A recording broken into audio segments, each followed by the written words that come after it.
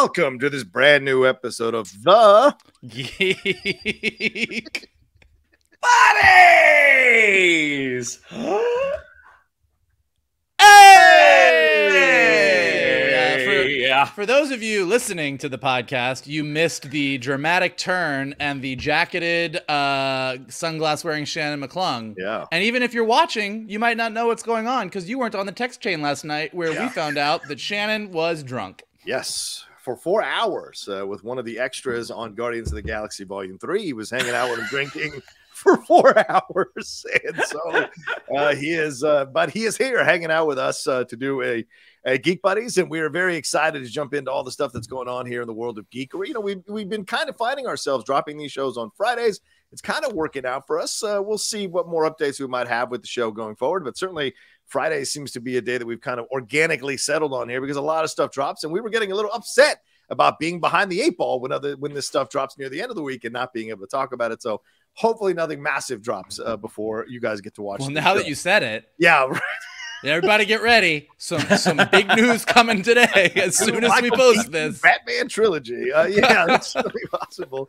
Uh, but we're going to get into a bunch of new trailers. Uh, speaking of upcoming stuff uh, that we're going to talk about here, we're also going to talk about some box office tracking for The Flash and Elemental. We're going to get into the first reactions for Across the Spider Verse that's just about to come out here in just a few days. And also, we're going to get into our main topic, which is the state of Marvel right now, with a lot of things in flux, cancellations, controversies, uh, writers falling off, new directors being considered, old directors being considered, a lot of stuff happening in the state of Marvel. So that's going to be our main topic. And the way the show works is each of us brings up a, uh, a topic here to discuss, and then we take a, a break uh, a couple of times throughout the show, and then we get into our main topic, which, as I said, is going to be the Marvel stuff. But let's introduce ourselves. For those of you who might not know us, I am the Outlaw John Rocha, writer, producer, and host here on the Geek Buddies. I am Michael Vogel, a writer and producer of animated TV shows and movies, and uh, feeling great this morning. Woke up just feeling, jumped out of bed, feeling just like ready to, ready to take on the day. It's the summer of Vogel. It's the summer of Vogel. And this is Shannon McClung. I'm an actor and an animation writer. And to clarify, I wasn't drunk for four hours. I was Oh. drinking for Drinking. four hours. I was only drunk a part of the time. Um, and also, uh, I work on a little show with Mr. Vogel called Strawberry Shortcake Berry in the Big City. And guess what? Season three is coming in just a couple of months in July. Yeah, big So- announcements. oh, nice. uh, yeah. yeah. Season three is coming in July, and then at the end of the year, you can get ready for four 44 minute CG strawberry specials coming to a Netflix near you. Nice. I, I want to see the one with this guy. I want to see the one with this guy on it. That's that's the one I want to see. Is that, is that, I want to see? I want to see that episode for God's sake. So Wow, just you putting- Putting the Oh, Geek Buddies text chain out there for the world to see. That's not Uh, that's not going to cause any problems down the road. It's fine. uh, but anyway, yeah, we're gonna have some fun uh, talking about this stuff. Uh, but uh, yeah, I just want to remind you all from the beginning here to subscribe to the channel. You know, I'm trying to make this more of an effort in all of my shows to remind you all three times during each show to subscribe to the channel if you haven't done so. All kinds of stuff happening here. The Jedi Way, obviously the Geek Buddies, the Hot Mic, uh, my reviews and trailer reactions, and all kinds of stuff that's happening in the nation. So please subscribe down below so you can get notified when you click that bell as well of all the stuff that's happening. And of course, we've been, you know, kind of showing the Geek Buddies up in different days, different times. So you want to be aware of when to catch us, especially when we go live. So clicking down below to subscribe and hitting that bell button is the way to do that. Of course, hit a like on the video right now while you're at it and leave a comment. Um, all right, let's start off here first with some of the first reactions to Across the Spider Verse. You know, this is coming out in just a few days already. Sony has started screening the film for critics for press. Um, and uh, the reactions have just been incredible to read. And I'm going to bring him up uh, here so you all can uh, follow along with me here. This is off of Variety, but Sean O'Connell over there uh, saying that Spider Man Across the Spider Verse lives one step above a masterpiece. It's an actual work of art. Every frame deserves to be hung in a museum. It's outstanding. Brian David says it's yet another resounding win for the Lord and Miller produced universe. Hailee Steinfeld really comes into her own as Gwen Stacy, and her scenes with Shea Whigham's Captain Stacy are truly special. It's darker and sadder than I expected. Uh, my lady Tessa Smith over there, Mama's Geeky, saying it raised the bar with its unique animation style and way of storytelling. Minds were blown when it was released, and fans thought there was no way it could be topped. That's the original one. Well, Spider Man Across the Spider Verse raises its own bar, which seemed impossible with shocking twist, unexpected surprises, and a story that truly makes sense for the crazy multiverse world that we have all jumped headfirst into nowadays. Uh, Mike Ryan here is saying it's not surprisingly terrific. It's it's he, he corrected this later with a follow up tweet with the punctuation. He's saying is not surprisingly terrific. It's a bigger story spread out over this movie and next, but it's still about Miles just wanting to be accepted for who he is.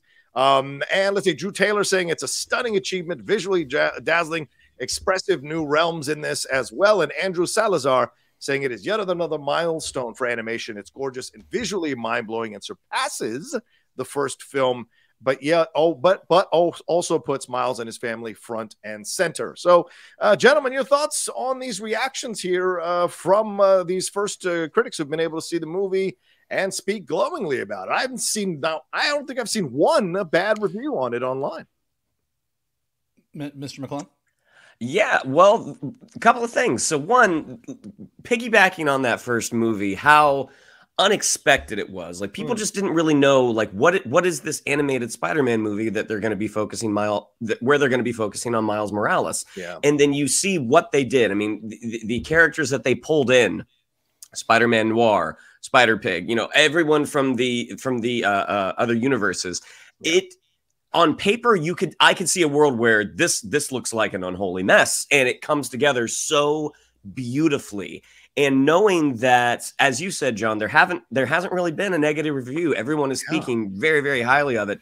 And knowing that they developed this one and the next one that's coming out next year beyond the spider verse at the same time. Now i think in the past when you have a big movie that comes out and they're like you know what? We're going to do two and three back to back. Yeah it doesn't always work out. Like like I like Back to the Future Part 2, but I know some people are like it's not their favorite of the trilogy. Right. I think Back to the Future Part 3 is wonderful as well. Again, people like, "Ah, you kind of lost you kind of lost the thread of uh, of Marty McFly," but and then thinking of like Pirates 2 and 3 as well. Like, mm-hmm. you know, we had this incredible Curse of the Black Pearl, and they're like, we're doing 2 and 3 back to back. And there was just so much in those movies that you could see, like, ah, if you'd taken a little bit more time to develop this, maybe it would have turned out better. The fact that they developed 2 and 3 at the same time, and number 2 is getting these just overwhelmingly positive reviews. Um, not only does it have me excited to go see the movie, but I'm really excited for the third chapter. Like knowing that they nailed number two based off of uh, based off of how number one did. It's like you probably nailed number three too. So it it's yeah. very very encouraging.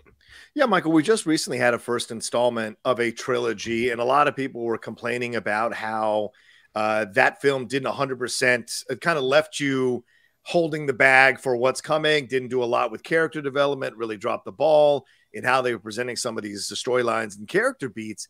But it sounds like with this, even though it's part one of a part two uh, of a two part story, it's a self contained um, uh, film that is damn good, yet also prepares you for what's coming in uh, part two. And certainly, it feels like uh, Infinity War into Endgame, saying that it end it has more darkness to it and sadness to it than you expect. You imagine it's going to end a lot happier at the end of part two. So, what do you think about these reviews for uh, part one of uh, Across the Spider Verse? Not surprising, but very satisfying. Mm. Uh, and like you know, because look, Shannon's right. There's a lot of rules. What we all go to movies. Yeah. There used to be this rule: don't put two supervillains in a movie. It's too much. the movie's going to be bad. Well, we have blown past that rule, and yeah. uh, there are many people that put everyone in the kitchen sink in a movie now, and it works great. Yeah. Shannon is right. A lot of times in the past, when you make two and three back to back, it hasn't worked well. The difference here is Lord and Miller.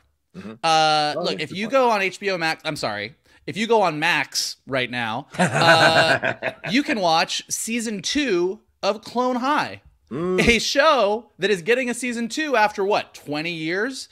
And it's because of Lord Miller uh, from the from the very beginnings of their career, everything that they have done, like this team knows how to tell a really really funny story, a really really heartfelt story, a really really crowd pleasing story, and that is like Lego Movie, Twenty One Jump Street, like all over the place where you go. So when the first Spider Verse movie came out uh, and blew everybody out of the water, it also wasn't surprising. It was surprising how good it was. Like yes. yeah. as good and Lord as good as, as Lord and Miller have been, um, Spider Verse might be one of the best things they've ever done. I uh, I had yeah. a gentleman over here the other night and we ordered some pizza and we decided uh, to watch a movie and i decided uh, we put on the first spider-verse movie because i was like oh you know i want to watch it again right before i go see the second one and watching it again after having not seen it for a long time you just realize how masterful it is like Yeah.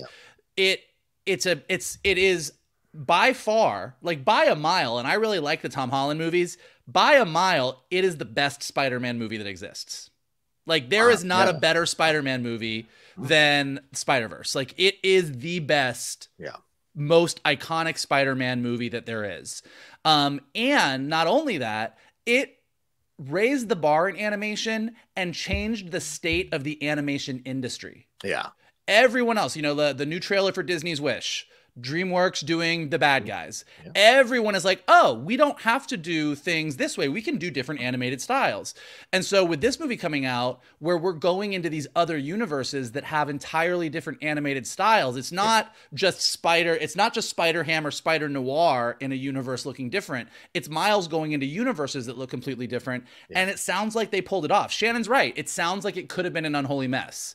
But with Lord and Miller at the helm, it's apparently, I mean, the word masterpiece is being used not by one or two people. Yeah, yeah. It's being used by, I've heard masterpiece, I've mm-hmm. heard Infinity War, I've heard Empire Strikes Back. Whoa. So, I mean, my expectations going into this are really, really, really high. But based on the audience response so far, based on what we've heard from some of our friends who have seen the movie, and based on Lord and Miller's track record, I think with as high as my expectations are, they're going to be met and maybe exceeded. Yeah, I I think you make excellent points, both of you, for sure. And we should give love to the directors, Joaquin Dos Santos, Kemp Powers, Justin K. Thompson, and the other writer on the on this as well, Dave Callaham. I mean, it takes a village, right? And it's this is coming out five years after the last one, and certainly the bar was set because, as you said, both of you said, the first one is such a was such a surprising hit and no he didn't make a billion dollars. Of course animated um superhero films rarely walk into that territory. I've never walked in that territory i don't think and but it won the oscar from when a lot of people including Amy pascal didn't initially think it had a shot to win best animated oscar against the juggernauts of disney or dreamworks or even uh, illumination and so there was questions about it so the fact that it was able to ha- almost have this groundswell of a campaign and got to that position and got that oscar was pretty amazing. So how do you follow it up? You've got to go to the next level. So you take your time, you develop this thing, you really figure it out. You bring it an incredible cast like Brian Tyree Henry back again, Luna Lauren Velez back again, but you add to the cast here with Daniel Kaluuya and Jason Schwartzman and other uh, actors here being involved in this and Issa Rae. So you throw even more diversity into the mix and make it seamlessly work. You introduce all these new Spider-Men, Spider People rather, and all these different versions of Spider-Man and Spider People that have existed throughout the comics. And it sounds like they made it all work. And what's the Yep. thing that we always worry, well, as Shannon mentioned, when you bring too much in, or as Michael said, the rules, it can get overwhelming. Well, it sounds like they figured it out how to do concise, correct writing for all of these char- characters to pop in, have their moments, and pop on out, and you get more out of it. And of course, Oscar Isaac's Spider Man 2099 is the one that I personally am 100% looking forward to seeing how they bring that to life here in the movie. So great to see all these reactions. Great. To, and this doesn't feel like sometimes with certain superhero movies where they, they, you know, the studio curates certain critics that are always going to kiss the ass of the studio or that particular brand and gives them first shot at seeing this. This feels very natural and Yeah. honest from a lot of these critics and a variety of critics as well. I do think you make a good point, and for any geeks out there who want to do a little uh, a little track record and early uh, viewing of things, like the entire creative team on this movie is amazing. And special Yeah, yeah. shout out to Joaquin Dos Santos, who's one of my favorite animation Mm. directors. Like super super nice guy, super awesome dude. But if you go back and look at like uh, I think it's Double Date, Justice League Unlimited. Uh, Yeah. Black Canary, Huntress, Question, and Green Arrow. Uh, Joaquin was directing on those, and some of the best action sequences in those early Bruce Timm uh, universe DC things Yeah. were Joaquin's. Then he jumped over to a little show called Avatar: The Last Airbender, and some of the best bending action was him. And then he went to Voltron over at DreamWorks and killed the action there. And now he's directing uh, a Spider Verse movie. So, in addition to me being pretty sure, thanks to Lord and Miller, that this is going to be an emotional, powerful, strong story, really funny, I think the action sequences in this movie are going to blow us out of the water. Yeah, uh, something to look forward to for sure. And, and, the tracking on this is around 75 million, which I don't know if that's true or not. Uh, it sounds like from all the positive reviews as it builds, it's going to be a lot better. But uh, we should jump into our next topic, Mike. I think it's uh, track. Speaking of tracking, please, Speaking, what do we got? That first of all, very well done. You should do this professionally. That was a wonderful segue into our next topic, which is box office tracking. Um, so, Hollywood Reporter had an article this week saying that uh, both The Flash and Pixar's Elemental yeah. uh, are not looking like they are tracking where the studios would like them to track. Uh, it looks like uh, The Flash is currently pacing to open in about the $70 million range, which is a little soft for a movie that has been yeah. so heavily promoted as being one of the greatest superhero movies of all time.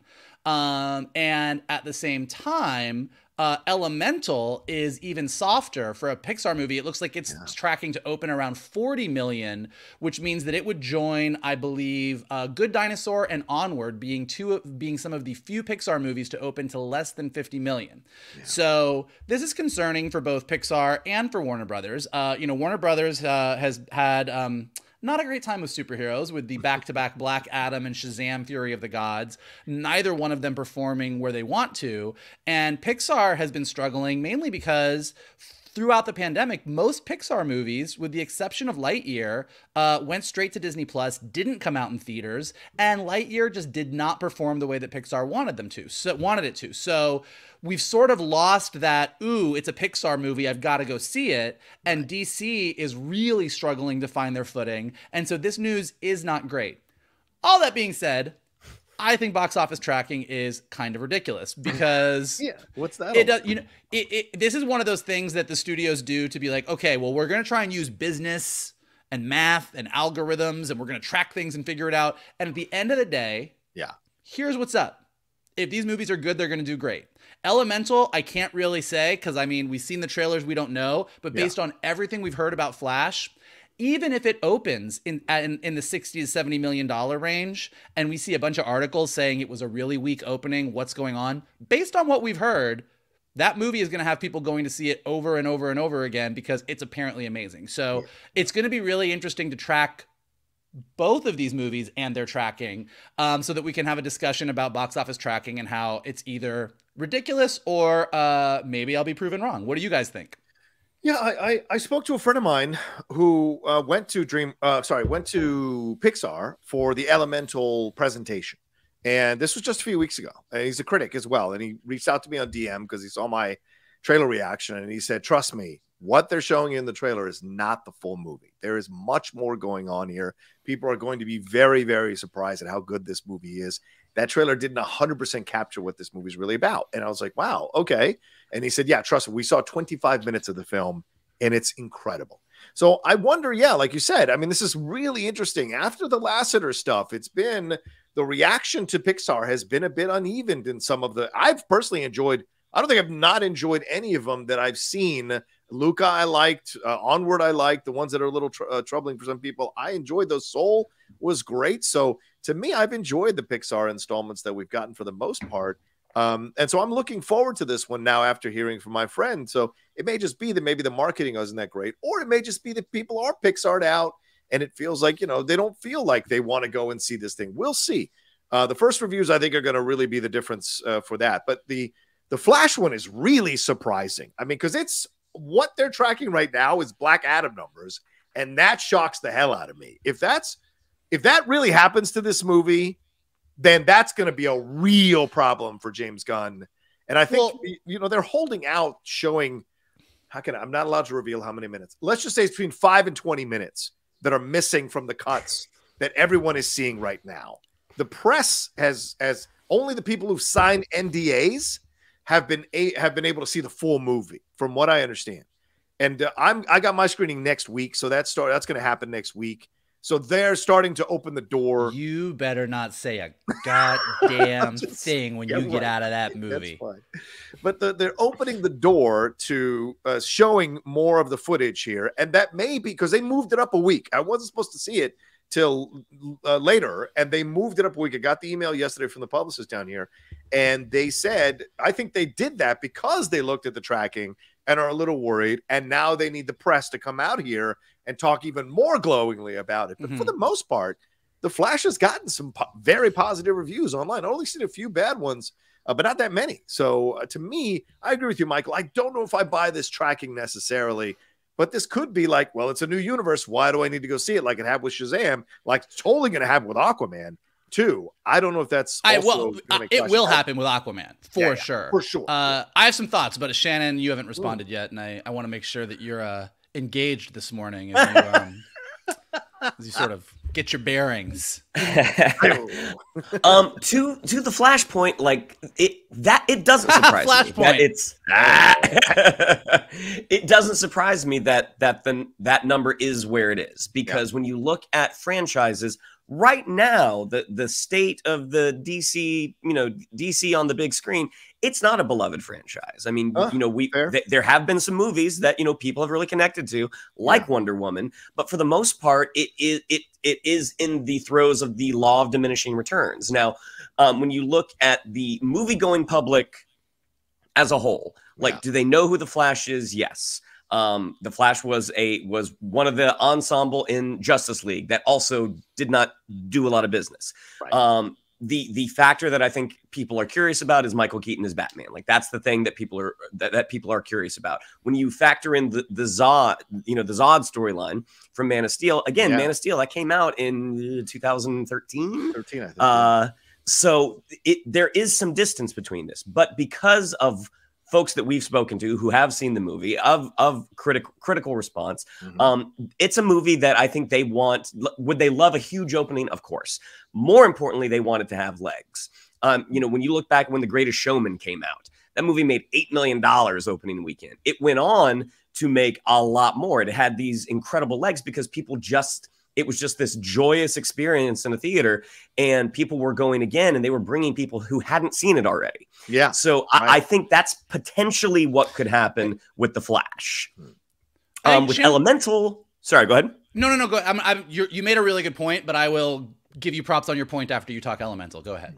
So elemental um yeah i mean it's it's been a minute since pixar has been big in the theaters. I mean I, I think Lightyear is one third of a great movie um, oh, then then the second and third act happen. I think the first act of Lightyear is absolutely stellar. Um, but everything else, you know, it, was it was going to Disney Plus. I mean, onward.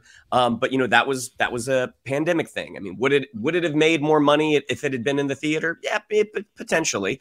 Um, but it has been a minute since Pixar has been the thing since the days of you know Finding Nemo and The Incredibles, uh, and, and, like we have to go see the new Pixar movie. Ultimately, because it is a Pixar film, it's a family film. Yeah. If it's a good movie, people are going to come back to it. Um, the the brand, while not not what it what once was, uh, the brand is still very very valuable. And if it does connect with audiences, people are going to go see it. It's not the same. It's not the same thing as like a little movie coming out that might be fantastic and just not enough people see it. People are going to see these movies because they're big summer movies. Yeah. Um, the, the key will be is if they're good. Yeah. yeah. Shannon made a really good point, and I think it's worth. This is this is why tracking annoys me, and I yeah. I, I, didn't I didn't figure it out until Shannon said it, which is yeah. Shannon's right. I I think if the way that you track and the way that you kind of pull people coming out of theaters and what are you interested in general audience we know that the flash is great. Yeah. Our, everyone who's listening to geek buddies knows it because we talk about it. We've on, we're on twitter we're hearing what people are saying. But people who are not huge superhero fans living in you know iowa or idaho or some other i state um you know they they don't know. So there Illinois. Yeah, yeah. That, thank you. Thank you. Thank you. Uh, but you know, they don't know. And so they're like, yeah, maybe I'll see it. There's a lot of superhero movies. I'm a little confused. And Elemental's the same thing. Like, oh, maybe there's a lot of cartoons out. So tracking bothers me because tracking reinforces this idea uh, that well let's make sure that everybody's very excited about something and it sort of robs you of doing stuff that's different um, you know, we were talking about Spider Verse a few minutes ago. Well, tracking on the first Spider Verse movie, where here's an animated Spider Verse. Yeah. Here's an animated Spider-Man movie, but it's not Peter Parker. It's this guy Miles Morales that a lot of you don't know, and there's a lot of different people in it, and it looks different for a cartoon. Probably wouldn't have tracked great probably didn't track great and probably got uh, the studio worried. And so I think when you do this tracking, it's sort of like, oh, well, maybe we made a mistake or people are confused. But Shannon's right with the greatest showman example. Like, if a movie is good, everybody comes out of that movie and texts their friends and talks to their parents and emails their family and says, oh my gosh, you got to go see this movie. Yeah. And so I think Flash is almost guaranteed to do that. Um, Elemental, we'll see, but I think that that's that's really the key. Is tracking is a guess, and it's a guess based on what we know, not what we don't know. And the biggest surprises in storytelling are the things that we don't know. Yeah, yeah, fair point. Yeah. Well, I mean, like I said, we're seeing a lot of positive reactions. Uh, Warner Brothers has screenings available for people to see all over the country. I think you go to WBScreenings.com. You're not going to get those extra five to 20 minutes that are uh, missing uh, from it uh, until later on. And so you can at least have a good idea of what the film is. So I think they're doing that as a as a response to um, how Shazam came out and how people reacted to Shazam as a dead fish in the water. So I think they feel this way. Uh, DC does, and Warner Brothers does, uh, and certainly I'm sure Gunn has an issue as a part of this as well. To like, hey, let's drum up the ground grassroots interest in this movie by getting people to come see free screenings of the movie and they can come and talk about it and tweet about it and that'll build the groundswell of support Although, for this movie and then the critics will come out with their full reviews and we'll go from there uh, yeah go ahead mike well just really quickly i mean dc is actually in i mean oddly in this case dc's in a great position with the flash mm-hmm. because so? it doesn't matter uh, oh, okay. if if the Flash does great, which I'm actually assuming it's going to be, right? Uh, they're going to be like, look, People are excited about DC again. This Flashpoint thing created this new universe. Gunn is going to take this and run with it. And people are finally excited about DC for the first time. And we are going to ride this wave. And it's awesome. Yeah. If the Flash bombs, which I don't think it's going to do, but let's just say that it does, you say, you know what? Previous regime made that movie that's why we're shifting gears. James gunn has a whole new vision coming out. Like the the no matter what yeah. where they're at this point where these it, flash aquaman and blue beetle yeah. If they do amazing and get you excited about the DC universe, James Gunn and company will embrace them and say, "Yes, this is what we're giving you." And if they're bad, they're going to say, "We know. That's why we're doing something different." And so it's a win-win for them either way. I I, I have to disagree with you a little bit because Zaslav has been very adamant that he was not going to cancel this movie. That it was a great movie, one of the greatest superhero movies, if not the greatest superhero ever made he's staking a lot of the PR reputation. And I know he doesn't give a shit, as you saw at the commencement speech about I know he's a fucking supervillain, but like the the idea, like a legitimate supervillain, but like the idea that it's not gonna look bad if the Flash. I don't actually. I think if the Flash underperforms or God forbid bombs. I think that's going to be egg, a big, big amount of egg on Zaslav's face because he could have killed this. Look, he killed Batgirl He's killed all these shows. He's promoted James Gunn and Peter Safran into these positions. And he defended Ezra Miller against all their accusations by keeping them in the movie and saying, no, we're not going to shut it down. We're going to release this thing. Changed who is who is going to be the cameos, changed the storylines, and now this extra footage is apparently uh, connected to the James Gunn universe. So, which I don't know. I, like I, I didn't see it, so but I'm hearing from people that it is. And so I'm, I'm, sure that's what it is. Yeah. And so the, this idea, so I think this will look really bad on them if the film bombs. I think Aquaman 2, they don't give a shit about. But I think The Flash, because I think home is going to be Lobo, but I think The Flash is absolutely one they want to say, like, we saved this, we made a lot of money off this. This is the this is what you can expect going forward. Uh, because Muschietti's a fantastic fucking director. Yeah. So, yeah. Well, so we shall see. Yeah, yeah, we shall see. When these movies come out and we will revisit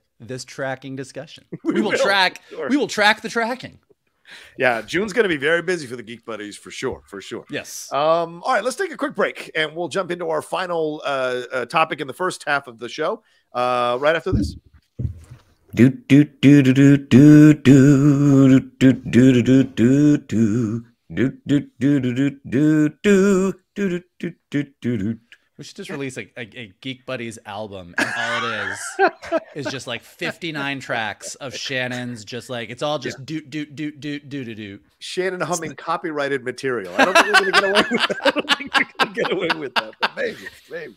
the uh, least downloaded and most legally legally damning thing that you can get on Apple Music.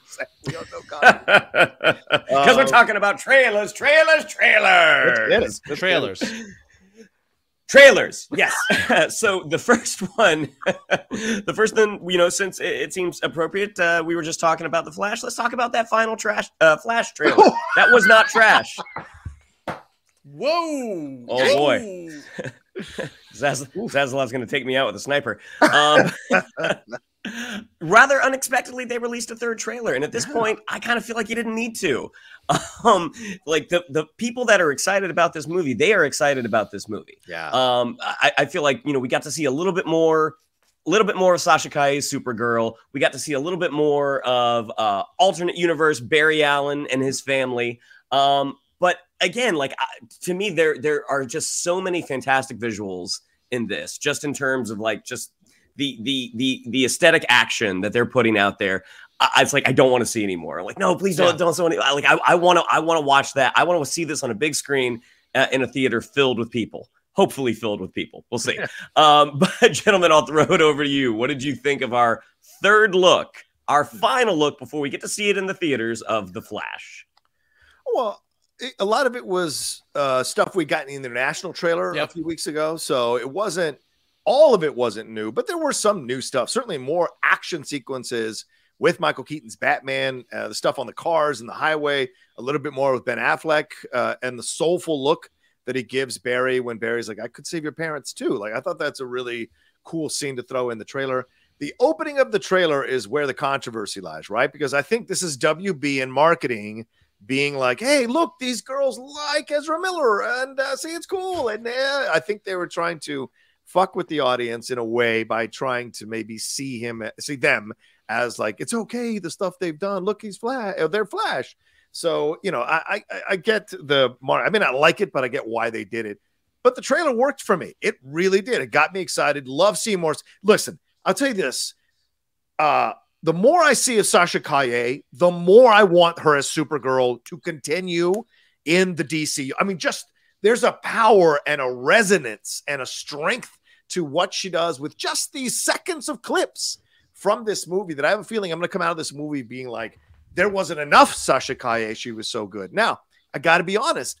I think Ezra Miller is damn charming as Barry Allen. It drives me nuts. I know the stuff he's done. I totally respect that. But I'm looking at it objectively as an or subjectively as an analyst here. He is really charming as the Flash. You can't deny that.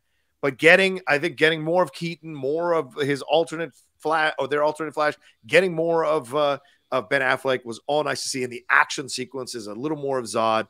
So for me, although we didn't need it, and I agree with you, Shannon, because obviously I'm already going to see it, it was nice to see just a little bit more. And I do think this was also done because maybe their internal numbers are telling them it's not getting as much hype as you think outside the bubble of people who like superhero movies, as Mike was alluding to. So, yeah. What do you think, Mike? Uh, yeah, I mean, a lot of it was stuff that we've seen in the international trailer. I think, look, as far as the Ezra Miller thing, like, I think that was a funny moment in the international trailer. I think it's a funny moment in this trailer. Yeah. At a certain point, you just got to go into this movie and like if you do not like Ezra Miller and you don't want to support them, don't support them. Yeah. I 100% I, I 100% support you and you're not supporting Ezra Miller. if you're excited about The Flash and you want to go see it, you just got to put who Ezra Miller is outside of it aside from it. Like like there's yeah. you just got to make that call. And so getting like Barry Allen is a character in this movie and they need to establish what the world thinks of Barry Allen in this movie. Yeah. And you you know, at a certain point we can't all sit outside of it and be like, well, this is what they really meant. You're like, this is a Flash movie, this is who the Flash is. So I think, you know, you sort of got to just like either be be be in or not be in and either choice is fine. Yeah. Um but I do think the other thing that I'm oddly excited about in this movie, uh, given if you if you've listened to Geek Buddies ever, um Batfleck, not my thing. Not a big bat, not a big Batfleck fan. Right. Never right. have been. Never thought he was good. In the Hollywood Reporter uh, interview, when Air came out, that we covered a few months ago. Yeah. Um, he said he didn't feel like he really got Batman right until this movie, and he's in it for about two minutes. And I gotta say, in this trailer, I was like, I think this might be where I finally like Batfleck. Like, I think that this is it. I think this is where I get on board. And it really was that moment. You know, out of everything in the trailer, I'm with Shannon. I'm with Shannon. I don't want to see any more action. I don't want to Yeah, see any more visuals. You have sold me that this movie is going to be gorgeous. You have sold me on the concept. Now just surprise me. But the moment that Barry said I could save my parent, I could save my my my mom, you we could I you know I could save your parents. And seeing his reaction and realizing that at the heart of this movie are three characters that lost their parents. Right. Barry's dad is in jail uh, for the murder of his mom, who is dead. Bruce's parents, if you've seen any Batman story ever in history, you know, got shot. if you've ever um, seen pearls hit, hit some wet ground, you know what just happened. Um, and then um, Sasha Calle's Supergirl, uh, her parents uh, Yeah, died. You know, Yeah, because it's Kryptonians. It's a thing. So you know, you have these three characters that are dealing with this loss, all coming together. Um, and so that one little bit in all of the awesomeness of the visuals and Batman and Supergirl and Zod and everything made me go, oh. Yeah, they've got the heart of this movie figured out, and that's what got me most excited. You could argue five people, right? Because the other the other Batman and oh yeah, the other Flash and possibly Well, the other Flash, who I'm still, I'm looking looking at those yellow headphones, and I'm like, I don't, I don't trust you. But um, uh, and Zod, I'm sure, has lost his parents at some point. Probably killed them himself. Uh, so yeah, there's a lot of parents that are being lost in this movie. They didn't kneel. They didn't kneel. They had to go. It's right, right. Spike right through. My, by the way, Mike finds new interesting ways to insult the Snyder fans, saying that this is this is the best version of Batfleck, and it's not even under Zack Snyder. I swear to God, Michael. All right, I mean, he's actually quoting Ben Affleck. Ben Affleck's That's the fair, one that that's said it. that's true. I'm just taking, I'm just taking what my boy Ben said your boy. and just saying, hey guys, this is this is just what Ben feels about it. I'm, I, I'm. I'm agnostic. I got no more opinions about Zack Snyder's Snyderverse. And the comment section is lighting Oh, up. Yeah, it's Well, be fun.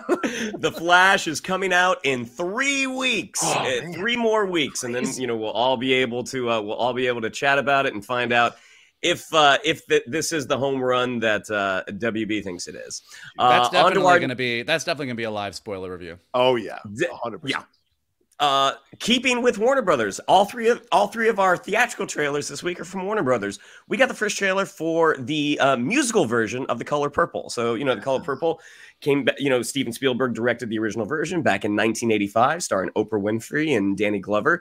Uh, and then it was in 2005, I think they did. It, they put it on Broadway. I mean, 2004, as yes, 2004, yeah, yeah. 2004 uh they they put it on broadway as a musical and when you look at some of the folks that were involved in that broadway production one of them is uh renee elise uh, goldsberry who you know went on to be in hamilton and then in she-hulk um but yeah this this I, i've not heard the music from this i had i was not in new york at that time so i didn't get to i didn't get to see the show but the music thus far the visuals like this looks like a really this looks like a really really uh in, incredible movie you know you have uh Halle Bailey from who is playing the Renee Elise Goldsberry role, the Nettie role, um, uh, fresh off The Little Mermaid. Um, we have Colman Domingo from Fear of the Walking Dead in the Danny Glover role, um, and we have Taraji P Henson as well. Uh, I just thought visually this just this looked this looks like a great. It's coming out on Christmas Day. This looks like a great Christmas movie. Like, you know, you think about the the musicals that have come out in the past, the really good ones. It's always around. It's always around the time uh, time of the holidays. So I'll throw it over to you, gentlemen. What did we think of our first look at the color purple? Yeah, I'm a big um I love the Steven Spielberg version. I love it. And Al, of course Alice Walker's novel is fantastic too, but like Steven Spielberg's version, I mean for a white director directing a black story, this was a for a teenager, young teenager like me, this was an intro into the black experience, right? As a movie that kind of showed me that as a young teenager. So I've always held that film in esteem, uh, uh, and as an example that it can be done. It- it's not usually the way to go, but it can be done. So you look at this movie where it's all black filmmakers, black creators, people. You know, it's very much about that. A musical adaptation of it's really interesting as well.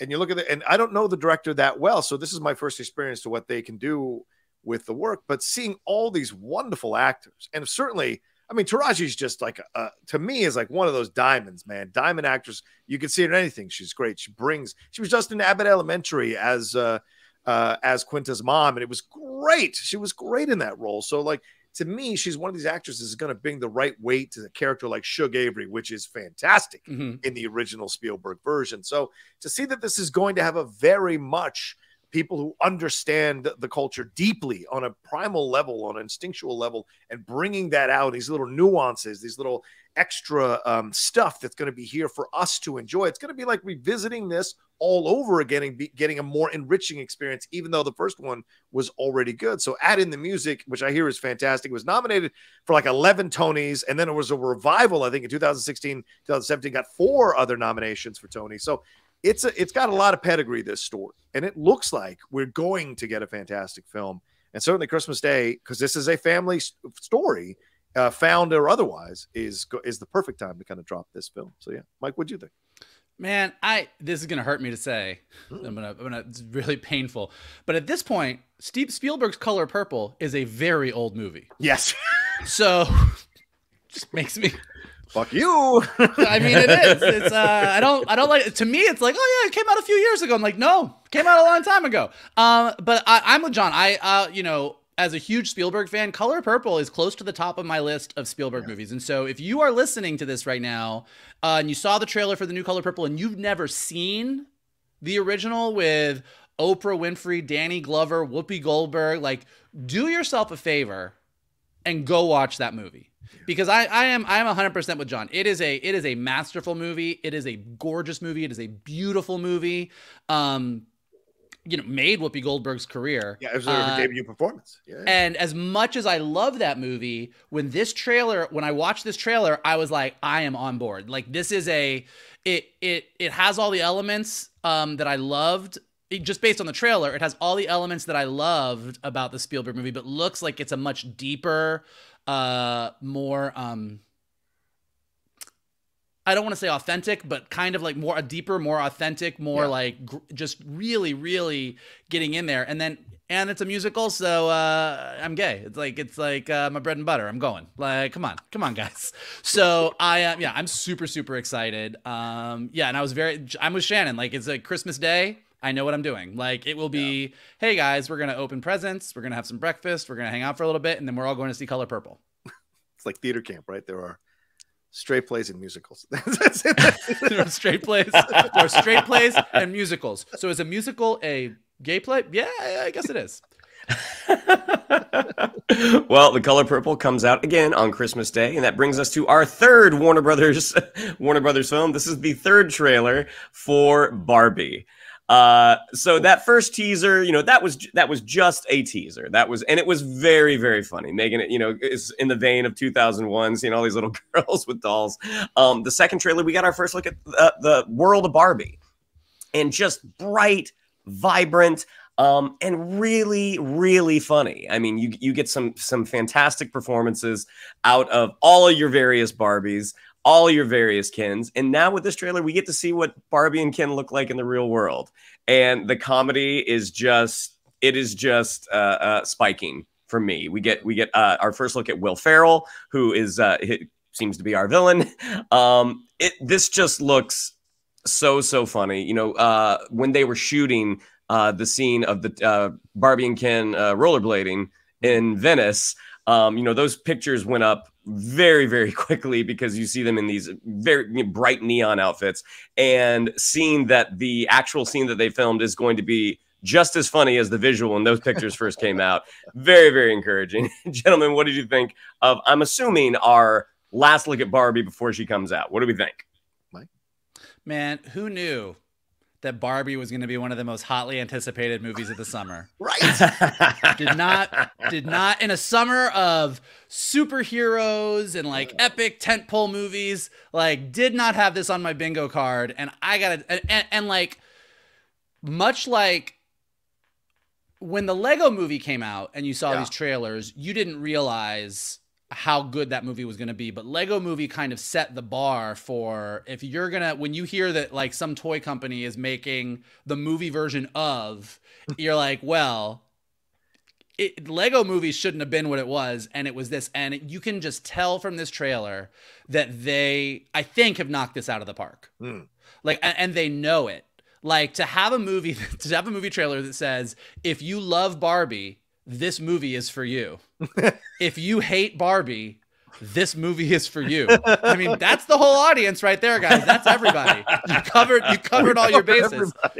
Um, but yeah, it just it just looks like they really know what they're doing, and and there have been so many different versions. I mean, Bar- Mattel has been trying to develop a Barbie movie forever yeah. and ever and ever, and it's like, well, is this? You, it, it can't really be a movie in Barbie's world. Like, what is that? And but like, if Barbie's in the real world, and is this a movie about well, Barbie's body should be this, and it's about body expectations, and it like they have gone through every different permutation with every creative in the industry of like, well, what should a Barbie movie be? And to land on, no, let's let Barbie be Barbie and let's take that through its logical conclusion. Yeah. Uh, seems to be the direction they went. And I think, I think it's great. Yes, I'm with Michael. I, I no way when they announced this that I think I was going to want to see this movie. And look, I love Greta Gerwig as a director, I, as an actress, but as a director, I really enjoy her. Like, you know, I thought Lady Bird was good. I thought Little Women was really good. So yeah. um, I was curious to see what you were going to get. And you know, you throw in Margot Robbie, and look, Margot hasn't really had a lot of hits lately, but certainly people respect her work, respect her as a producer. So, okay, what are you going to bring to it? And it finally, we got a trailer that gave us a little bit more of the story, a little bit what this is going to be about. You know, you've got essentially Will Ferrell reprising Lord Business from the Lego movie. So he's going to have his issues there. And then, you know, uh, but it's it, it, what I think is going to be real interesting to see. And, and one of the lines in the in the trailer kind of made me think this is it's going to walk that line between being a two hour commercial for Barbie and also saying something about the current state of our world. And I already saw some uh, neckbeards getting upset about the fact that all the men in the trailer are stupid or sexist or dumb or whatever. And it's, it's going to be part of that. And you, so you're going to have to navigate that nonsense as you see this. But I think there's going to be a very strong and interesting message by the end of the movie that's going to shock a lot of people because Greta's really good at this subversive stuff within the work that she does. You know, Lady Bird's got that, uh, Little Women's got that. So I, I won't be surprised to see it come here. That being said, the vibrancy of the trailer, I mean, getting, um, oh, oh God, what's her name from SNL? Kate McKinnon. Get a Kate McKinnon, Kate McKinnon. To, come in to be the the Neo or the uh, Morpheus for that world. I thought that was genius, man. So to me, you got to use Kate McKinnon the right way. That's the right way to use Kate McKinnon and having this incredible cast. So I'm going to be real curious what the end result's going to be when I watch it, but I'm very excited again after this trailer. And I love that Damon shot down the idea of Oppenheimer versus Barbie, going, you know what? You could see two movies in a weekend. It's not going to kill you. So I like that we're going to get that as kind of counter to Oppenheimer as well. So maybe, maybe, do Oppenheimer and then to wash it all out, the sadness and all that, go to Barbie and it'll make Yeah, I feel like there's only one direction you do that double feature. yeah, exactly. You don't do it the other way. Unless you're a depressive, I guess. Yeah. Like, yeah. like, oh, Barbie was great. Really made me feel great about the world. Boo. Like, you just, yeah, don't do it that way. Come on. I don't want to feel hope. Get out of here. Give me Oppenheimer.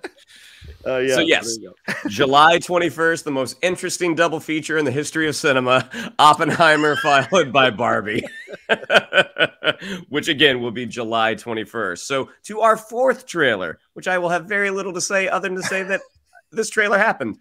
Um, we, there was a trailer for uh, the second season of Star Trek: Strange New Worlds. Yeah. I tried to watch the first episode. I, I I think there was a lot that I was a lot of context that I did not have. Uh, so I'll just throw it over to you, gentlemen. Hey, what do you think about the uh, trailer for the second season of that show? I don't watch.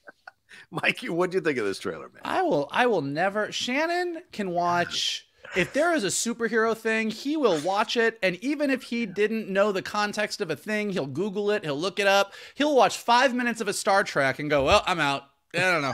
That's too much. What's a warp? What's a warp coil? Yep, I don't know. I gotta go do something. Ah, I gotta go work at Universal. Um, I this, the the first trailer. I, I, do think it's a little bit of like what we were saying with um, Flash. Like the first trailer for season two of Strange New Worlds was great. Didn't really need a second trailer, but glad I got it, and I am super on board. I think aside from Picard season three, which will now for all times be one of the greatest seasons of television in the history of all television for me. Yeah, yeah. Um, Strange New Worlds season one just kind of brought a freshness to Star Trek that even though I really love Discovery, I love, you know, I'm a I'm a I'm a Trekkie. I will watch all the Star Treks. I, I think Lower Decks is really funny, but Strange New Worlds really brought this freshness uh, and lightness to the franchise that hadn't been there in a while. Yeah. And it looks like they're both doubling down on that, but still expanding the bigger story that they are aiming to tell. And I love how bright and shiny it is. I like how sparkly it is. I really like enjoy this cast. Like this is one of the TV shows that I'm most excited about coming out uh, in the next several months. Yeah. Yeah, I loved it. I thought it was great because like uh, this is one I discovered while I had COVID. Like I finally was down for the count. I had to watch something, and I don't usually like to watch things when I'm sick. I'm kind of in a different place than other people are because I I'm so viscerally involved with stuff. You guys have watched movies with me. It's exhausting sometimes to get in, to watch something. It's exhausting to watch you. you know what? Don't say that while I'm on the show, you son of a. Anyway, yeah. So this, this whole thing. So it doesn't. So, but getting into Strange New Worlds, it was so fun. You know how Picard season three was like crack for, the lack of a better term, for next generation lovers. Strange New Worlds was that for the original series lovers. It was so Yeah. evo- evocative of the original series, with the tongue firmly planted in its cheek, but with stakes there, with new interesting villains, with fun stories, a great fucking crew with different variety in terms of the characters and the actors and the diversity across the board. So I was I was really blown away by Strange New Worlds. And in fact, when I saw this trailer, I was like, I'm just going to do a whole rewatch re- uh, soon on a Saturday. Just go back to back to back and have a fun getting back into that world and getting to know these characters all over again in anticipation for season Well- two coming out. This trailer had some fun stuff. Michael mentions Lower Decks. Seeing those two characters from Lower, lower Decks coming in, and apparently that's going to be a singular episode that is combining animation with live action, and it's going to be directed by Jonathan Frakes. So I love that they're taking that kind of chance. This is something Star Trek the original series would do. So I Well- love that they're taking that kind of chance with I- the season two. So yeah, I love the trailer. Shannon's Love- yeah.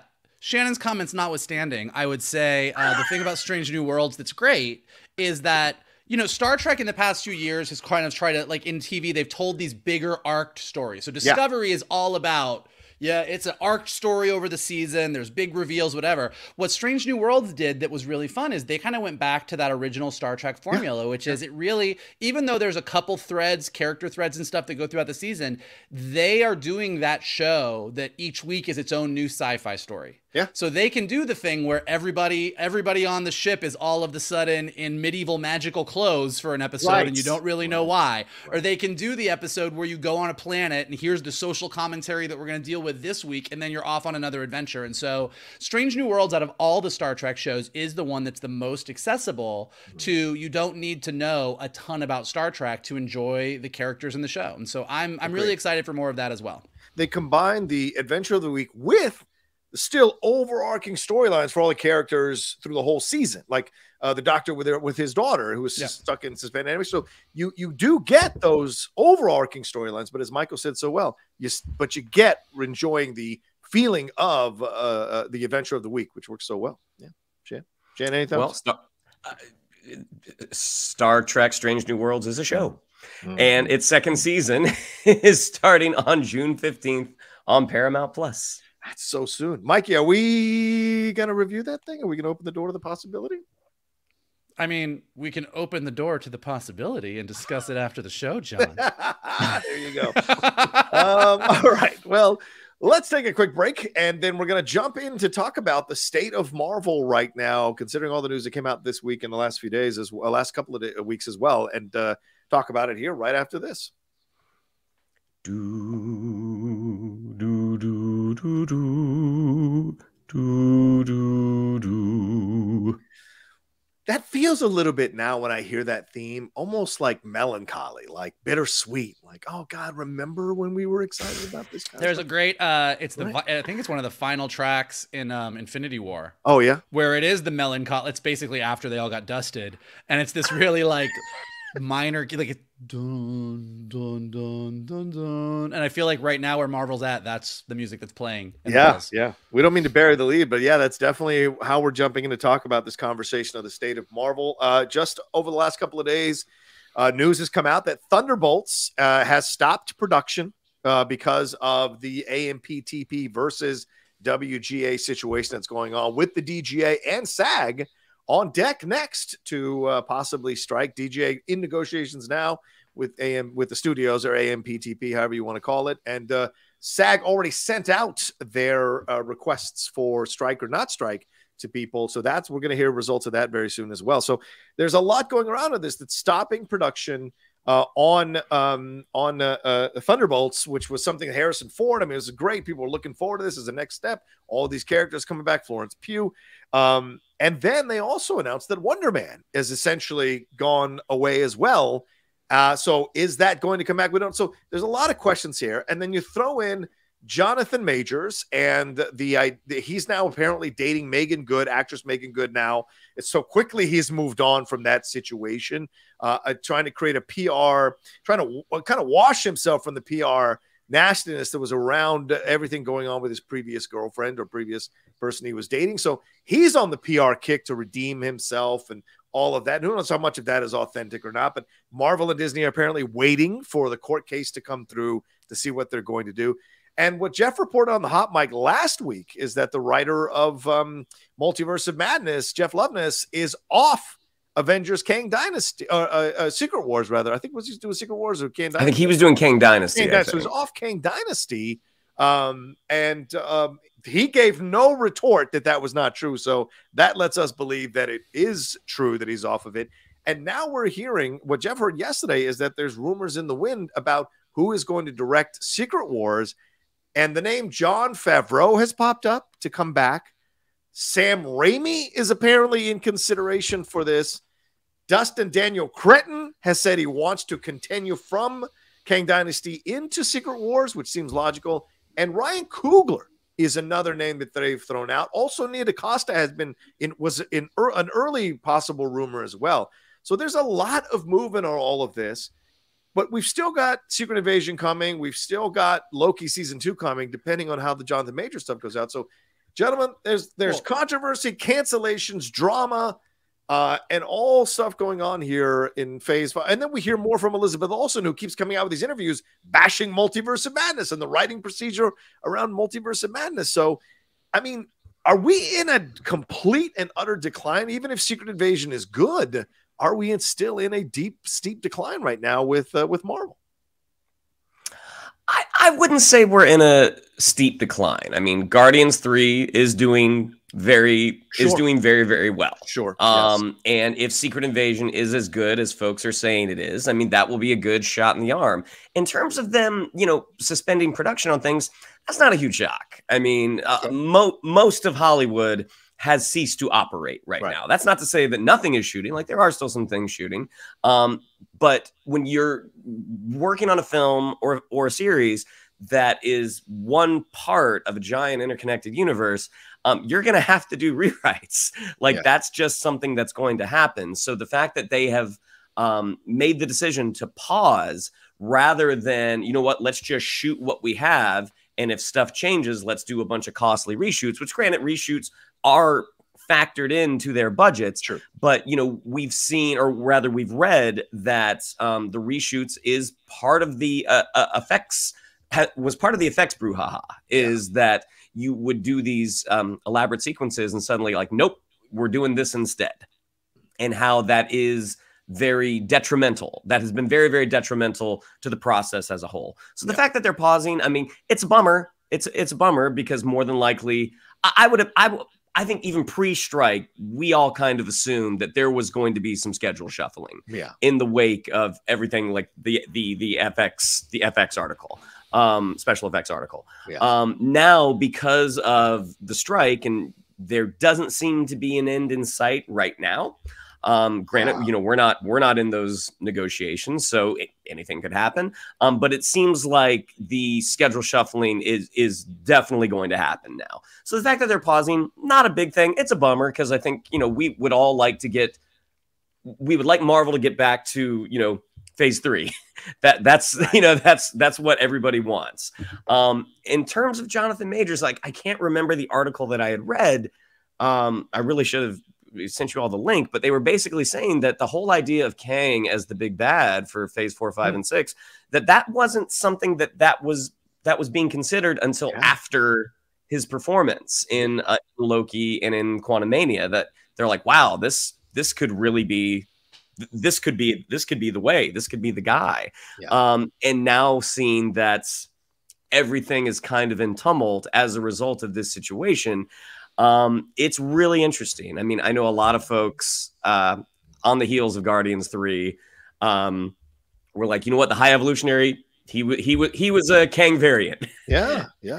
like he, he's he's going to be Kang now. I mean, Marvel has recast in the past. Like that is yeah. not that's not a big deal a, a role of this size, that would be the first time. But it'll be really interesting to see what they what they decide to do. I mean, and as fans, I think more than anything, like if they recast, they recast. What we want more than anything is just a, a good time in the theater. Yeah, and I and I did mention Fantastic Four, which has also had a lot of drama around the casting. Who are they looking at? Who are they going to go with? Apparently, Emma Stone turned it down. Is Jodie Comer now in play? What's the who do they want to bring into this? Are they going to go Jewish? Are they not going to go Jewish? Are they going to go black? Like where? There's so many questions that are that are circling around that with drama around that as well, Michael. Uh, but a little bit of good news: the Spider-Man 2 game, all that stuff was announced yesterday, and when it's coming out, there are great footage. Uh, friend of Yuri Lowenthal, uh, uh, friends of the show, he he uh, of course is the voice of the main Spider-Man there. He talking about it, so there is some positive stuff, maybe not connected to the MCU, but for the brand of Marvel, some positive stuff to kind of offset all of this stuff in the MCU. What are your thoughts here on all of the stuff that's going down, Mike? You know, this is this is where the rubber meets the road. This is where you get paid the big bucks in Hollywood because when everything's going great and you're getting all the credit, it's awesome. It feels wonderful. Yeah, you're like everyone's like, oh, you're amazing. Marvel, Marvel, Marvel's reshaped cinema. Marvel's the biggest money-making franchise in the history of Hollywood. Like they can't lose. It's awesome. It's great. And and look, and all credit to them because what they did with phases one, two, and three, like nobody's done before. Like it, the reason yeah, we true. all freaked out when Infinity War and Endgame came out is because Infinity War and Endgame should not have been as good as they were. Like they actually pulled off one of the biggest hat tricks in cinema. I mean, I I know that a lot of the uh, auteurs would argue with me on that, but Ugh. in the history of cinema, like as as important as so many cinematic achievements have been, making 20 odd movies over a decade, all interconnected and having a grand finale, no one's done that before. Yeah. It's huge. And one of the biggest things, everybody knows that when you're struggling, you have anxiety. Like everybody knows that when you're trying to get into Hollywood, when you're trying to make it big, there's a lot of fear and insecurity and anxiety. When you're at the top of the heap, there's a lot of fear and insecurity and anxiety because you got to hold on. And right now, what you're seeing is Marvel spinning as they're not getting the response that they are used to getting. Yeah. Uh, and, and not just externally, not just all of us fans going, eh, phase four didn't really do it for me. I don't really know. I'm kind of, uh, the, the box office isn't as good. But internally, like Victoria Alonso, gone. Yeah, right. Uh, Elizabeth yeah. Olsen kind of being more public than Marvel actors have been in the past with, well, this was frustrating. I basically was telling the same story twice with WandaVision and Multiverse of Madness. Would have preferred to not have to do that. So yeah. you're seeing even internally that there's a lot of like, oh, what are we doing? Where are we going? And I think it is Kevin Feige being spread very thin. I think it is the stress and pressure of we did this amazing thing and now let's do it again. Um, and I think there's the stress and pressure of like too much content, um, yeah. you know, between the TVs and the movies. Like one, two, and three was just here's a bunch of movies. Yeah. And once the Disney Plus TV thing happened and you had more stuff going on, uh, you have to make sure it's all connected. And I think we can all agree that we've seen the fraying of the edges of those interconnections where we're sort of like, all right, well, Wakanda Forever, you were good, but man, I really feel like you were stuffing stuff in there for your Disney Plus shows. So like we're all we're all feeling that, and they and Marvel internally knows that, and they're probably feeling it too, and everybody's trying to figure out what's going on, and then in the middle of all of this, you get a strike. Yeah. Um. And and like Shannon said, you know, like the strike, it's not surprising. Marvel's not the only movie uh movie movie studio that's putting a pause on things. Everyone in TV and movies yeah. is putting a pause on things.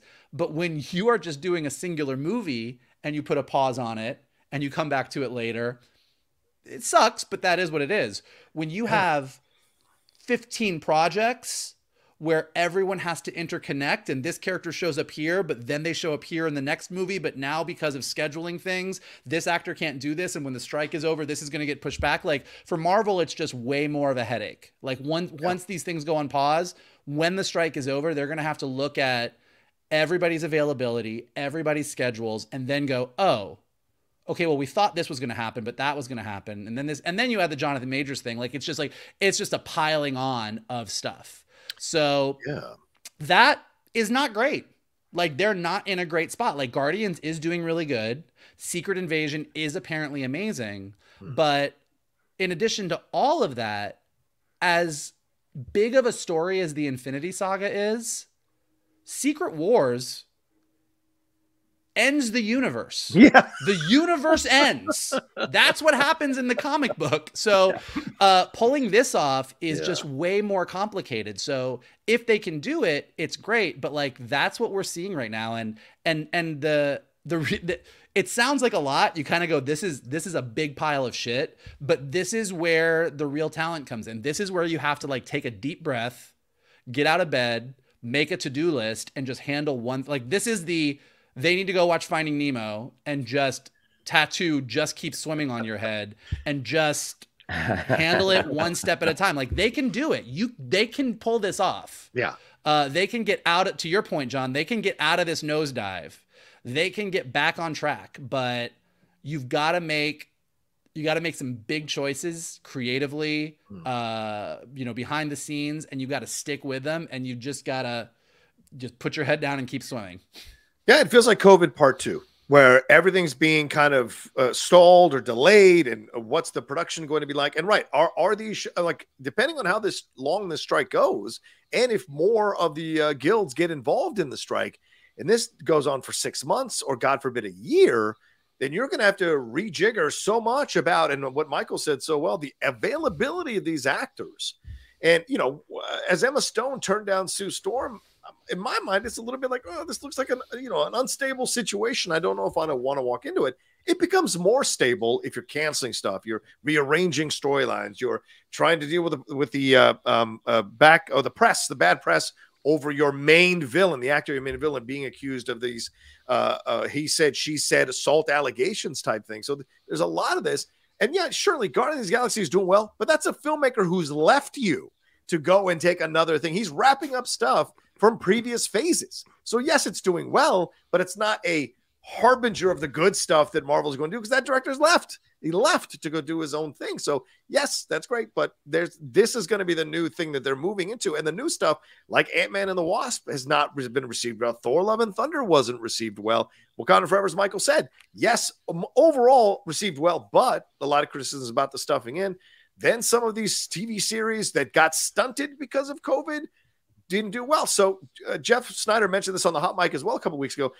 Iger is and Feige have come to the decision to bring in, bring back more experienced writers, pay the, those writers more money because the younger writers they were given opportunities to are clearly letting them down overall. Not on everything, but certainly enough to dent the brand the way it feels right now. And so, as you said, Michael, these are where you make these tough decisions. You make these decisions and you, you move forward.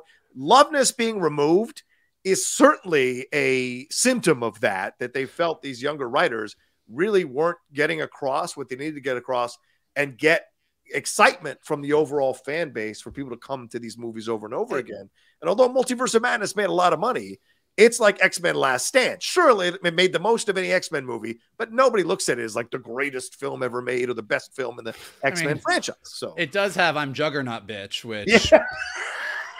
right. I mean, that's fair. That's fair. Iconic, not good, but iconic. Um, yeah. No, I mean, I think like what what you're seeing is, and this is this is you know we've seen it with DC, whatever. Like, yeah, it's not easy to tell hmm. a giant interconnected story, and and what Phase Four kind of did for better or for worse, is they were spreading everything out. Oh, we've got Shang-Chi over here. Yeah. the Eternals right. over here. Okay, we've got the the TVA in space. Okay, well, there's the quantum. Well, they've been they've been expanding out, and you're right, John. Like Guardians is kind of wrapping up a, a story that was more yeah. Infinity Saga than multiverse. It has it doesn't touch the multiverse, right? And Doctor Strange And with the exception of No Way Home, Doctor Strange and Quantumania and the things that do kind of touch the multiverse, well, yeah. the exception of I'll say Loki as well, but like it's a little bit hit and miss. Like we know yeah. they're doing multiverse and we're intrigued, but it doesn't have that strong thing. The strongest movies that they've had, again, No Way Home aside,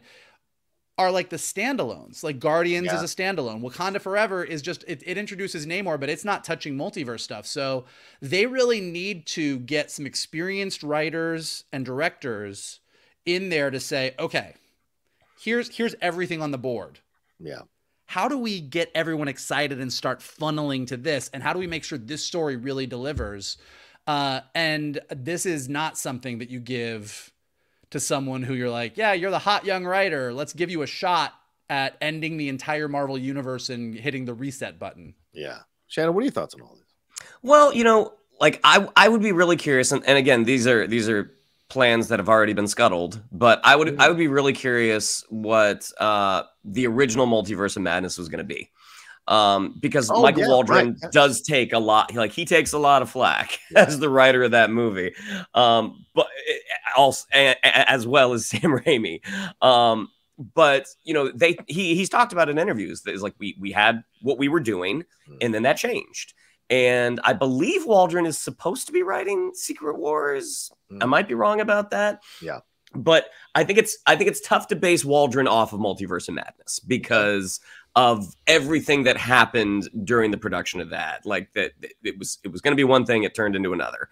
Um, so the whole thing with Loveness, because I think he was a Rick and Morty writer too. Yeah, yeah, yeah. yeah. And by the way, um, if I said Multiverse of Madness, Loveness wrote Ant-Man and Wasp Quantumania. I want to make sure. Well, no, no, you, yeah, no. I'm saying Waldron wrote Multiverse. Yeah, yeah, yeah. Um, so if, I, if wrote, I, made that mistake, I apologize. No, you didn't. No, you, no, you were, you, you were correct. Okay. Um, but you know, again, and I don't know if looking at Quantumania, you you look at the issues that that movie has.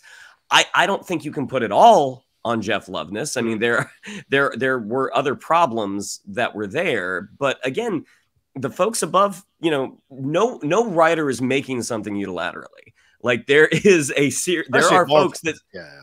Uh, definitely. There are folks that say yes, yes or no. So, you know, they have to share a little bit of that responsibility as well, because if they were unhappy with ultimately what was coming, you know, coming to pass, that they could have stopped it. Yeah. Now, you know, uh, uh, the direct original director of Doctor Strange, the first one, uh, Derek. Oh, uh, Scott uh, Derrickson. Yeah, yeah, yeah, Scott Derrickson. Um, you know, he he did say he he hit, removing himself from the sequel, saying, you know, you shouldn't base a movie off a release date. Mm-hmm. Um, and so at some point, like maybe drafts were being turned in, and it was sort of like, okay, we can either delay or we can we can make this. Yeah. So I think as a whole, looking at things kind of like what Star Wars is trying to do, like let's let's make sure we're happy with what we're making yeah. before we announce its release date. Um, and again, it's just such a challenge when you have, as Vogel said, like 15 projects in the works. Yeah. That's a that's a tall order. So it will be interesting to see, like, is is if Kevin Feige and his team are able to uh, right the ship. Well, I think that's why Iger comes in to slow things down.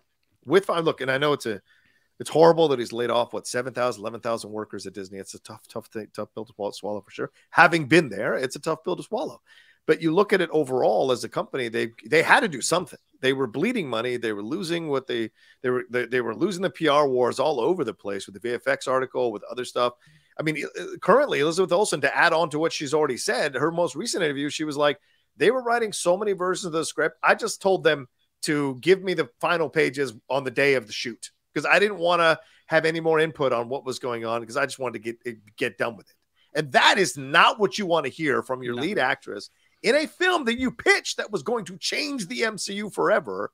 That's not what you want to hear. So those are the things that you run into here. So I imagine Iger's doing that. Slow things down, that allows us to have less people so we can save money, but we're also going to spend more time so these become more eventized. As Shannon said so well just re- just a few seconds ago, like Star Wars is doing. Kathleen Kennedy said that at uh, her recent interview. She said, "I want to go back to eventizing Star Wars," and that's probably across the board. That Iger's like, "Okay, I'm back. This is what we're doing. This is how we're going to save both of these brands in this process." And it'll be curious. I mean, the rumors, as Shannon was mentioning about what the original plan was before Kang, it was Robert Downey Jr. coming back as Doctor Doom. That was what they were kicking around at Secret War. He was going to show up on Secret Wars and be Doctor Doom. If that plan now comes back into motion, does that feel desperate to bring back the arc, in essence, the foundational piece of the MCU with Iron Man to kind of save your uh, your Here's- sinking ship? Here's here i mean just bringing it back to what we were talking about with lord and miller Yeah. earlier on in the episode um it's desperate if it's bad Ah, fair point. Fair point. if it's Yeah. good Yeah. like all ideas are all ideas are not in and of themselves good or bad Mhm. um their execution is what makes them good or bad so if you tell me this amazing story and you really get your multiverse in order and you introduce the Fantastic Four, and the Fantastic Four are like, oh my gosh, there's this multiversal thing happening, and they meet Namor and they meet, uh, you know, uh, Shuri, and they kind of bring everything together, and then you reveal that in another universe, Tony Stark went in a very different direction and shows up, and you're like, oh, okay. Like, there's a way that you can make that where every one of us would Yeah, lose yeah. our goddamn minds, and there's a way that you do it, which is like, you know, the Illuminati and Multiverse of Madness, where you Oh. kind of come out and you go, Ugh. okay, well, that's a thing that they did. Yeah, that's a fair point. Fair point, Michael. Uh, all right. Any final words on this before we wrap up? I know we gotta we gotta get going, gentlemen. Any final words on this? Any hope? Well, if Secret Invasion is good, and Loki, despite the Jonathan Major stuff, is good. Is that enough to kind of start turning the tide and giving people hope? Do you think? No. Um, it, it'll it'll individually we'll all talk about it and we'll say, wow, I really liked. You know what? I mean, not to pick on DC, but I'll bring it back to DC. Like DC had hits and misses. Yeah, A lot of people love Man of Steel. I know I'm not one of them, but a lot of people love Man of Steel. A lot of people think Henry Cavill was great. Most people agree that Wonder Woman was great. Yes. we would get excited about individual movies. It didn't necessarily drive towards I'm now excited about the DC universe. There's sort of the thing about these big universal uh sorry, not uni- these big multi-movie arcs is there's two stories happening. So we could go, I loved Secret Invasion. Secret Invasion is the best Disney Plus show that has come out. It was a singular thing. I loved it. We could go, I think that the Marvels was super fun. It was great. But until they get their bigger multiverse story in order, until they go, oh, here's what's happening with the multiverse, guys, and we all understand it and get excited about that, that's when they're going to be back on track. They can have a lot of individual movies and we'll go, oh, their movies are getting better. We got out of that rut of Multiverse of Madness and Love of Thunder. But until we start getting back to where we were in phase three, where all of us were like, okay, guys, we know that the Power Stone is on Xandar, and we know that the Ether is also with the Collector, but okay, but we know, like, we were all doing countdown to stones, and everyone had theories oh, yeah. about what the Soul Stone was going to be. And until we understand the multiverse as well as we understood, let's collect the stones for the gauntlet, there, that's when they get back on track. Yeah. she had any final words on? Yeah, I mean, uh, again, I think all they need f- for the public, at least, Hmm. I think all you need is one good thing, and people are like, "It's back, it's back." But but as that, all you can lose that again Yeah. with another thing that doesn't deliver. So you know, I think we're all kind of like, "Yeah, Guardians, Guardians is a lot of fun. Secret Invasion could be awesome. Um, the Marvels could be fantastic." The next thing that comes out, if Loki season two is kind of like, "Meh," it's like oh they've lo- they've lost their way so ultimately we won't know we won't know until secret wars comes out if they actually are back on track Yeah. Feels like Marvel's on the ropes after a great first few rounds. They're a little bit on the ropes right now. We'll see what happens. That's a sports uh, reference. Yes. I it is. get they're it. ropes that you climb right that those are the ropes right um, all right, let's get on out of here. Thank you guys so much for joining us uh, for another fun Friday uh, Geek Buddies episode. Um, uh, Shannon, what do we have to tell them? yeah if you'd like to follow us on social media on twitter it's at geek underscore buddies on instagram at the underscore geek underscore buddies if you'd like to follow me on social media on twitter it's at shannon underscore mcclung on instagram at shannon the geek buddy if you would like to follow mr vogel it is at mktoon if you would like to follow mr rocha it is at the rocha says Mikey. Well, like Johnny said earlier, this summer is going to be a wild ride if you are a geek. And uh, we hope that you guys are here for all of it with us. And here's what you can do to help us keep doing what we're doing. Uh, you can smash that like button below, subscribe to Johnny's Outlaw Nation page, like he said earlier. Make sure he gets all the subscribers. Uh, leave your comments below. Let us know what you thought about this. What do you think of the state of Marvel? What movies are you excited about? What do you think about tracking? Let us know below. Um, if you are listening to us on a podcast, go ahead and leave us some stars and comments so that we go up in the rankings and more people can find us. And as always, the best thing that you can do is retweet this video, post it on your socials, send it to your friends, and tell them to hang out with your buddies, the Geek Buddies. There you go. All right. Thank you all so much for joining us. And uh, uh, you all enjoy your Memorial Day weekend. Uh, maybe catching up on some geeky stuff or hanging out. Just be safe so you can come out and hang out with us next week when we bring you another episode of The Geek Buddies!